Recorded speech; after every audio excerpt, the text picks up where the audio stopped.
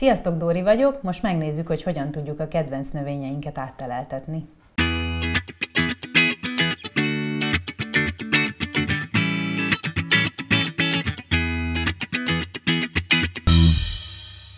Nekem három különböző növényem van, egy muskátli, egy leander és egy dália. Hasonlóképpen kell őket átteleltetni, de azért mégis egy picit különbözőképpen, úgyhogy kezdjük most a muskátlival. A teleltetés célszerű elkezdeni a talajmenti fagyok beállta előtt, hiszen minden növény érzékeny a fagyra. Le kell vágnunk a virágzó hajtásokat, a bimbókat, a száraz és beteg részeket.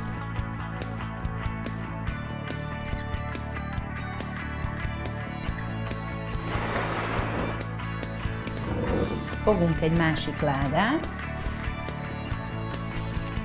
ebbe homokot szórunk,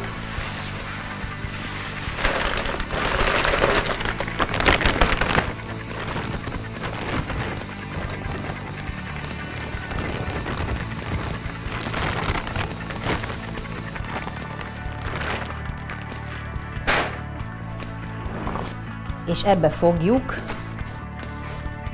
vermelni a muskátlit, ami azt jelenti, hogy ilyen kis lukakat csinálunk,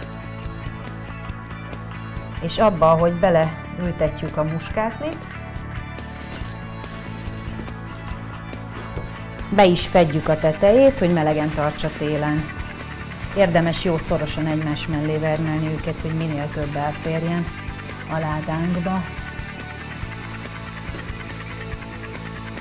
Február végén kell csak visszavágni a hajtásokat, ebből a 3-4 legerősebb hajtást tartjuk meg, és utána átrakjuk őket friss virágföldbe, és olyan 15 Celsius fok körüli helyre rakjuk. A leandernek a főbb hajtásait visszavágjuk, ezeket a vastagabb ágakat az egyharmadánál, a kisebbeket pedig a kétharmadánál.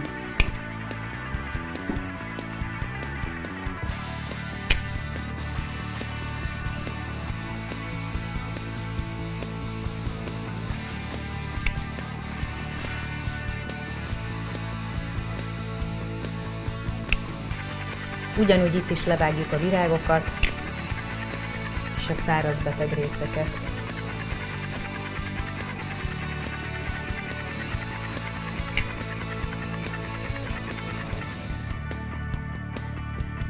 Míg a muskátlikat 4-8 fokos helyen teleltetjük át, addig a leander egy picit hidegebb helyet szeret, olyan 3-5 fok körülit, és kevés fényt.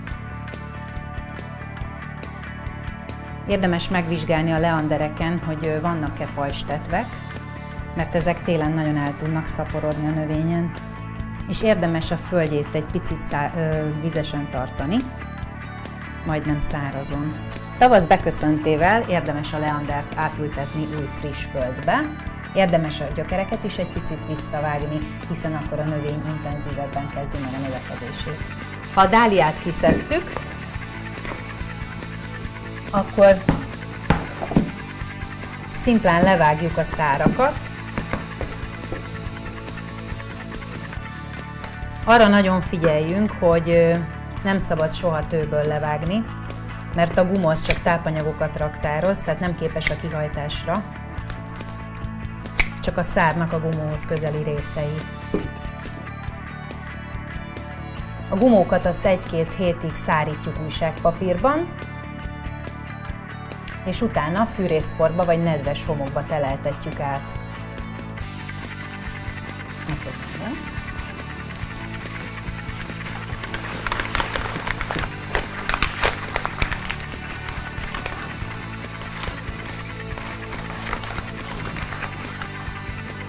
Teleltetésre bármilyen fagymentes hely megfelel, csak a betegségeket kell majd figyelnünk a növénynél, és ne legyen túl száraz vagy túl nedves ez a közeg, hiszen a száraznál kiszárad, a túl nedvesnél pedig elrohadnak a gumók. Amennyiben további műhelytitkokra vágytok, iratkozzatok fel a Praktikát csatornájára. Sziasztok!